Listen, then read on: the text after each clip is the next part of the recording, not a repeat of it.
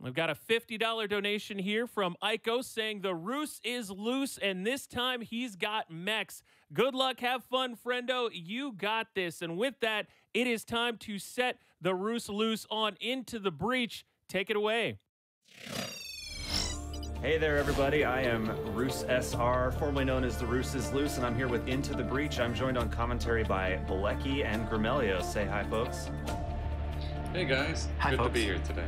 All right, there is a lot to get into in this run, so real quick introduction. First off, this is a roguelike, so I don't know what missions and enemies I'm going to be uh, seeing, so my commentary is going to be doing most of the legwork on talking. But we are doing the Frozen Titans squad, which have some really cool ice abilities. We are speedrunning on easy difficulty, just because that's kind of like where the best balance of decisions versus RNG comes in. And we are putting the special pilot Mafan in our ice mech due to some uh, special things it's going to allow us to do, which again, I'll let my commentators talk about. But let's go ahead and get started.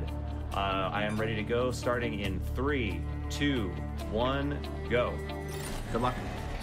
Thank you. All right, Into the Breach here is a tactical strategy game. As Bruce men- mentioned, it's also a roguelike. The category is going to be two island percent, which means Roose will be completing two of the initially available four islands, then moving on to the final island. So this is our first mission. You can see Roose's three units he's placed there on the kind of upper left, the purple ones, and then there are these insect enemies appearing, or which, which are called the Vek. Um, now, these Vek are going to be targeting not only Roose's units, but also the buildings on the map towards the upper left. When an enemy damages a building, it lowers that orange health bar at the upper left of the screen, and if that bar drops to zero, you lose. If an enemy uh, attacks one of your units and it takes damage, that's not really a losing condition. You can only lose if that bar drops to zero. Also, on the upper right of the screen, you'll kind of see victory in like four or five turns. Um, you're essentially waiting for that timer to tick down, and that's the end of the mission before you can progress. So it's really kind of a more of a game of kind of staying alive and preventing uh, unit da- uh, building damage rather than kind of killing enemies as fast as possible. Um, that's how the game works. But uh, Grim, how can we go fast in this game? Yeah, so apart from what Blechy mentioned about when possible choosing four turn missions rather than five, it's not always possible, but you do what you can.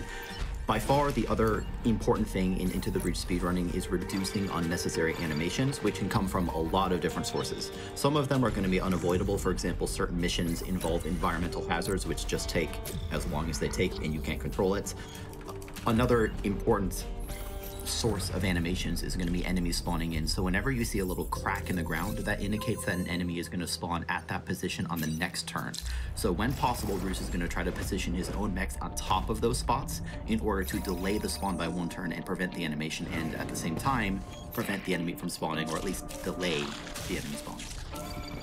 That's exactly right. So effectively, it comes down to preventing animations, choosing fast missions, specifically ones with uh, four four turn missions rather than five. This is a five turn mission we're on right now. Um, and then uh, really just kind of also one interesting thing that you'll be seeing Roose doing between missions, he is going to be cutting back to the main menu.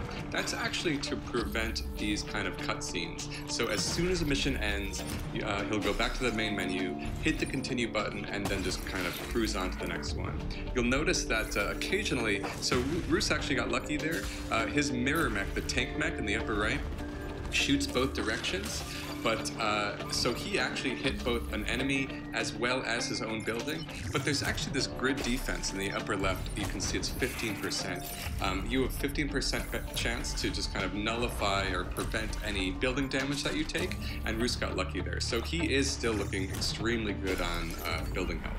Yeah, we're already very much seeing the power of that ice mech. As Blechy mentioned earlier, this game is more of a uh, more of challenge of outlasting your enemies than strictly killing them.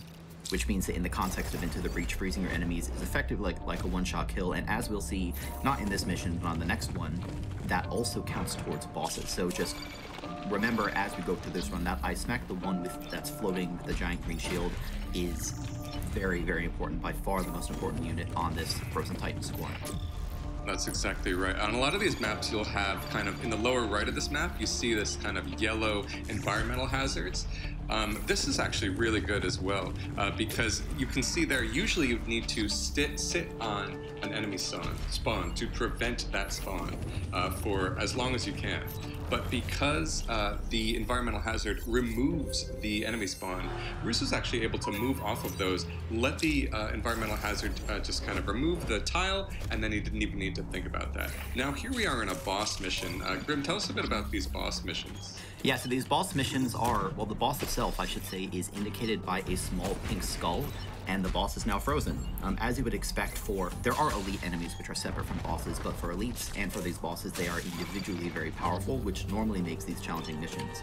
But with the Frozen Titan squad, and by the way, this is a major reason why this squad in particular is used, we can just freeze the boss, take it out of commission immediately, and this, uh, these missions end up being some of the easier ones in this run. Assuming the spawns Yeah. cooperate, of course, which they've been a little mean on this time, but you know, Mhm. we've still got a whole nother island to go. Yep, again, this is a, two island percent, which means that Roose just completed the first island. He's going to do a quick, a few quick upgrades on his units. Upgrade, um, I believe that was damage, and then um, just kind of move on to the second island. Uh, this is any any mission you see with a train is going to be a four turn mission. You can see in the upper right there, uh, it's a four four turn mission. Um, that is a huge plus. It comes kind of with the caveat of you'll need to watch this train uh, run an animation between each uh, turn, but you can actually destroy the train, which Roose does there. He freezes it, and um, he, he's able to kind of nullify that that uh, kind of bad effect. Yeah, something else we haven't really talked about a lot is some of the resources you get as rewards at the end of these missions. You can get power cores, which, uh, like you did mention, we use to upgrade the damage and movement of these mechs that we have in a particular order. You can also get some other rewards like pilots and whatnot, but for the purposes of this speedrun, it's really primarily those cores uh, that we care about to give us just a little bit of an extra edge. Yeah, and we're And actually slightly the other one. behind where we would want to be with cores right now because we did destroy our um, one of the time pods on the first island, but we're actually going to get an extra one out of this mission ideally, so that'll get us back like kind of on the pace of cores that we want to be seeing. Um, so this uh, squad, the reason this squad is so powerful for speedruns is not only that um, it's an innate ability, uh, but th- that freeze mech is extremely powerful alone. Uh, as we as we've been seeing, it's kind of one-shotting these enemies, but it also comes down to the pilot choice. At the start of the game, uh, Roose inserted this pilot called Mafan into the uh, freeze mech, that and where the freeze mech would normally, whenever it shoots an enemy, would normally freeze itself as well, which is kind of kind of the balancing factor normally. Because we have this uh, pilot, which adds this green shield around it, that prevents the uh, unit from even freezing itself at all. Um, so it, it really is like you get all the pluses without any of the minuses. It, it's it's incredible. Yeah, that also means that uh, definitely need to keep that one alive. Uh, one other aspect of Roose's decision making I wanted to call out is that if you're paying close attention, you'll notice sometimes Roose will freeze the enemies, and sometimes he will uh, kill them and sometimes intentionally let them spawn. What that is based on is a known spawn pattern, not in terms of the precise locations where the enemies will spawn, but in terms of the number that will spawn based on whether it's a four turn mission or a five turn mission. It's not always there with 100% consistency, but generally Roose is going to try to kill the first two enemies and then kind of start blocking from there.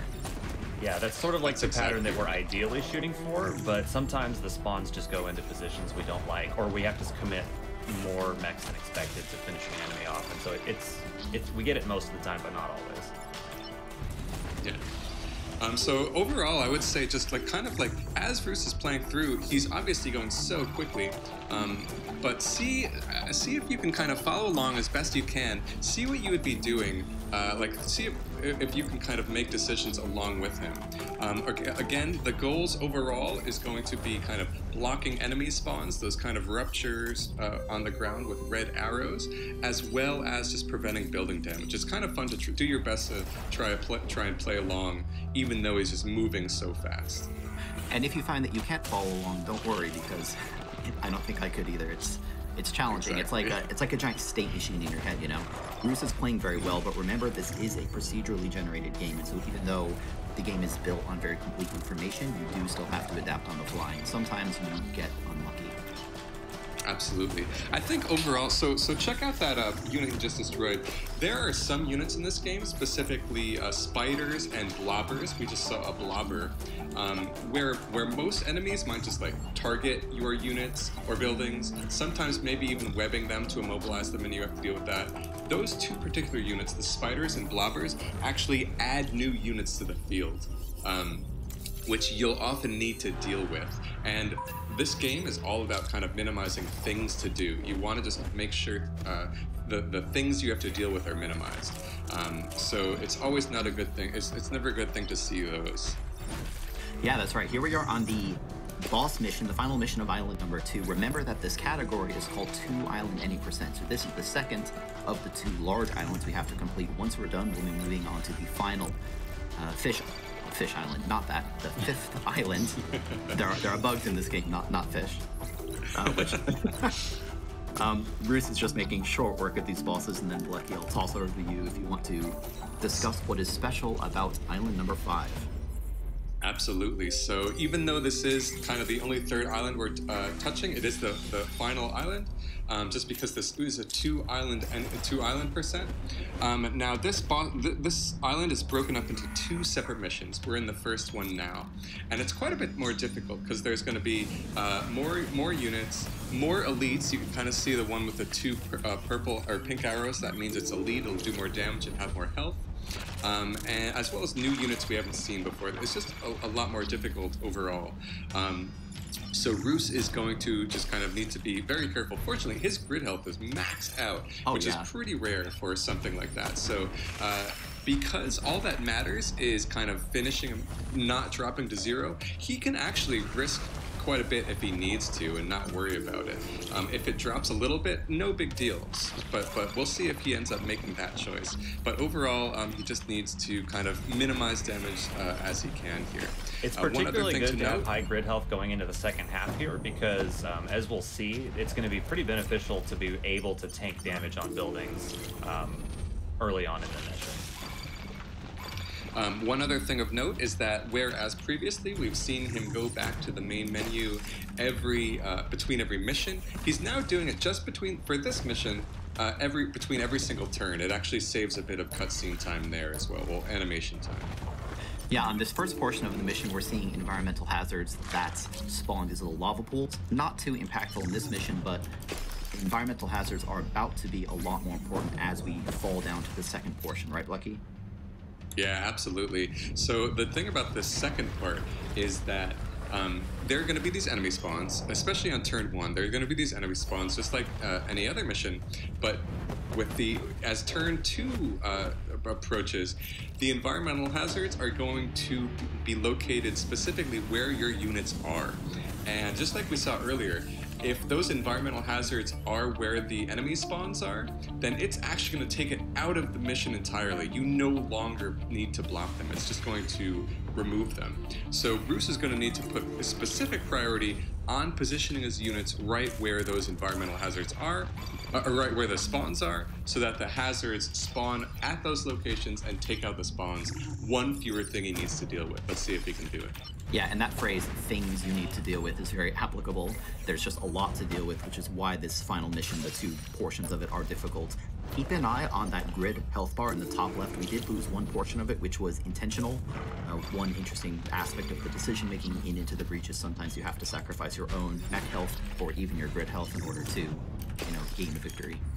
We unfortunately were only For able to actually block one of those spawns just due to where they showed up, but honestly, one is still pretty good, so we're we're pretty much in the clear at this point here.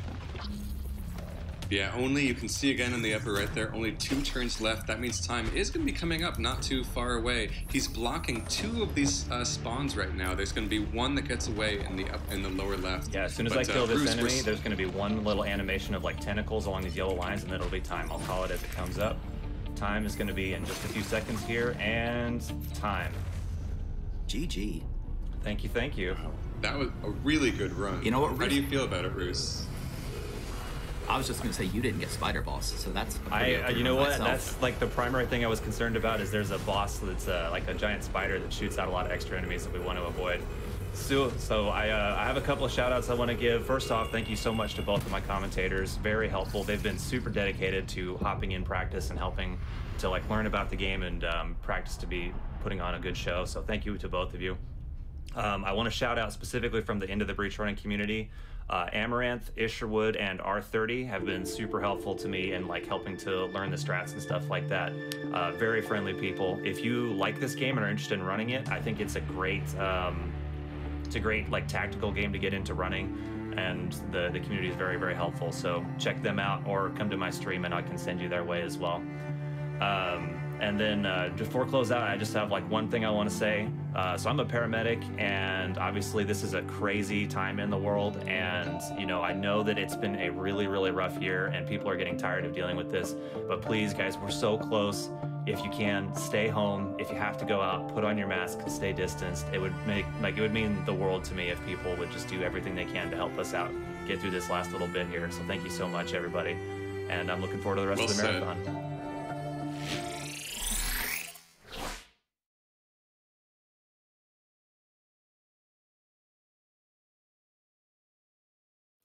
Well, thank you very much, Roose, for all you do and also for that incredible Into the Breach run. A lot of donations are coming in via, well, via the donations, obviously, via uh, gamesdonequick.com for the Prevent Cancer Foundation, including $50 from Logo Man saying, let's save this timeline from cancer. Good luck to Roose while going into the breach. Also, $25 from Imbert saying, first time catching GDQ live, so first time donating. I played into the breach obsessively when it came out. Best of luck destroying it, Roose. Let's get that Wand of Gamelon run in Awful Block. And also, it is coming down to crunch time. We've got a couple hours left, but we want to get some of those donation incentives met. And when it comes to Golden Sun, the first incentive that we need to meet, chat, everybody watching out there, is the Mia-less Saturos fight. Now, it's possible to skip the fourth character, Mia, and battle Saturos, which is one of the most challenging encounters in the game. If met, Plexa will be showing that off, but it is a $15,000 incentive, and we've got a ways to go. Now, Golden Sun is coming up after the Mario Golf Toadstool Tour run, and that incentive will take place an hour into the Golden Sun run if it's met. So we need to start getting those donations in if you want to get a train going. That would also be awesome, but make sure that you mark on the donation that you want to put it towards the Mia-less Saturos fight.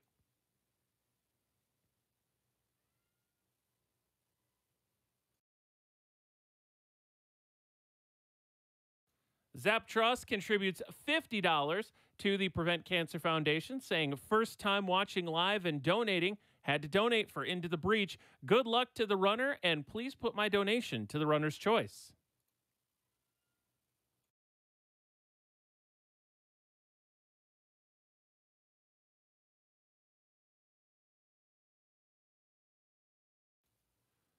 Ray Bello also donates $50, saying thanks so much to Roose and GDQ for bringing Into the Breach onto the big stage. I was looking for a shorter run to pick up during the school year. I saw this on the schedule and it was perfect. The community has been super kind and helpful, and I'm glad to be a part of it. Good luck, Roose.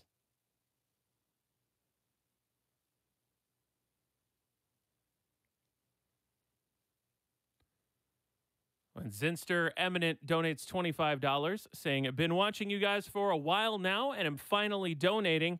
My grandmother is a cancer survivor, and I lost my uncle to cancer. So, you guys doing AGDQ, even with the pandemic, lets me know that humanity still has its kindness. Thank you, Zinster, for the $25 donation to the Prevent Cancer Foundation.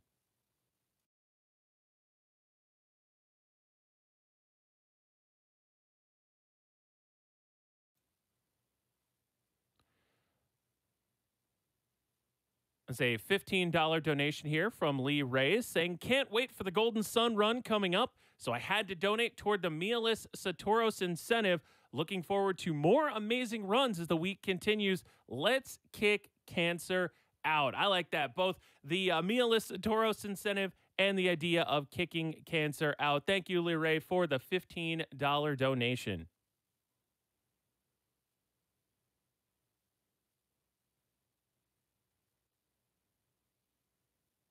Yasashi contributes $50 and says, Roose, keep rocking it, man. I'm proud of you. Go GDQ.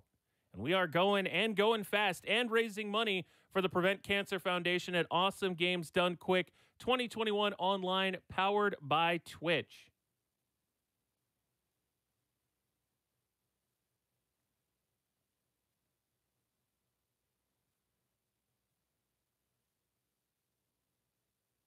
Was a $10 donation from Songbird that says, Hey, GDQ, I'm so excited to see Golden Sun run this year as it's been one of my favorites for a long time. I can't wait to see it absolutely smashed. My donation goes to the Mialis Saturos because who doesn't like to see impossible bosses beaten by undersized parties? That's what I'm saying. That's why I think we got to get those donations in for the Mialis Saturos fight. Now, again, we do have uh, a little more than $12,000 to go for that incentive, but GDQ, we have done phenomenal things before, so I know we can get that incentive met. If not, by the end of Mario Golf Toadstool Tour, which, by the way, we are getting ready for that run, still getting set up. Blue Candy is going to be playing Mario Golf Toadstool Tour for us, which is going to be incredible.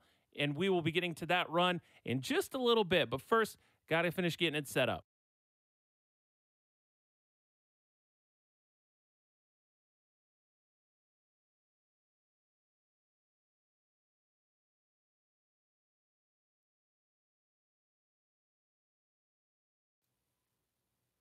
Well, Blob King 156 donates $25, saying, I was going to wait until the Golden Sun run to donate, but hearing about the glitch exhibition forced my hand. Very excited to see one of my favorite games of my childhood run, but until then, excited to see all the runs on offer. Donation goes to the Golden Sun glitch exhibition. And we will be back with more awesome games done quick 2021 online in just a moment. Stay tuned.